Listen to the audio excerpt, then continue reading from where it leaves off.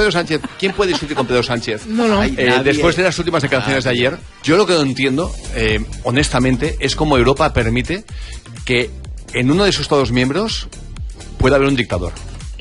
Porque lo que dice Pedro Sánchez es de dictador.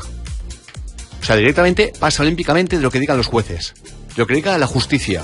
Directamente van a ser todos amnistiados porque no son terroristas. Bueno, no son terroristas ahora que necesita sus, sus votos, porque antes no lo decías, nene. Pero en el momento que alguien puede decir, bueno, veremos qué dicen los jueces. No, no, van a ser todos amnistiados porque eh, no son terroristas. Vale. Griñán va a ser amnistiado porque me da la gana, en ese caso será, ¿no? Porque un tío que ha sido el protagonista de un desfalco de 700 millones de euros.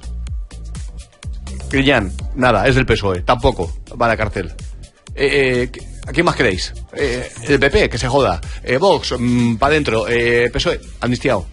O sea, es- si eso no es de dictador, cuéntame tú qué es lo que es. Es decir, ¿cómo puedes luego decirle a la gente o pedirle a la gente que utilice un código ético o moral si el líder de un país se lo salta dependiendo de si son amigos suyos o no? Ahí está. ¿Cómo puede decir un tío que la justicia es igual para todos? Cuando se demuestra que no es verdad, dependiendo de si necesito sus votos. Porque como no tengo vergüenza, como no tengo ningún tipo de decencia ni dignidad, si necesito sus votos, los terroristas que ponían bombas y mataban a niños tampoco son asesinos.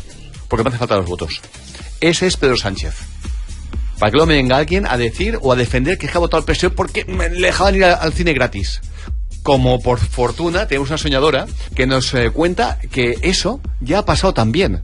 Para que veas lo barato que se han vendido algunos. Buenos días, Javier, equipo. Aquí Vanessa de la Ruqueta, de San Pedro de Rivas. Mira, que os estoy escuchando ahora mismo y estáis hablando de, de quién no, de nuestro Pedrito y de las ayudas que dan y lo contento que están algunos jubilados porque le hayan subido la pensión. El mío es un socialista de toda la vida y está enervado. Este hombre le ha quitado hasta años de vida. Lo está pasando fatal con este tema de todo, de todo, de todo de esto político lo está pasando fatal el hombre. Y con esto de que les daban dos euros, ¿te acuerdas? Dos euros a- eh, para el cine, Sí. los martes les costaba dos euros, ¿no? Vale, pues ya se lo han quitado. Estuvimos ahí el primero, no, el segundo martes del año, toda la sala como cada martes llena de personas mayores, jubiladas. Eh, pues nada, les cobraron ocho pavos, sin avisar ni nada. Pum, ya le han quitado los dos euros. Eh, Y estaban todos ahí diciendo lo mismo, es lo que hace Pedrito, nos pone y nos quita, nos pone y nos quita, nos pone y nos quita. Se pensará que somos tontos. Pues sí, sí, lo piensa. Y de hecho muchos lo son, eh, soñadora, lo siento, muchos lo son. Porque fíjate, eh, lo hizo para las elecciones y de momento de pasar las elecciones, venga, ya está, fuera, ya tengo tu voto. Claro que se cree que son gilipollas. Claro que se, claro que se cree que son tontos, pero es que muchos lo son.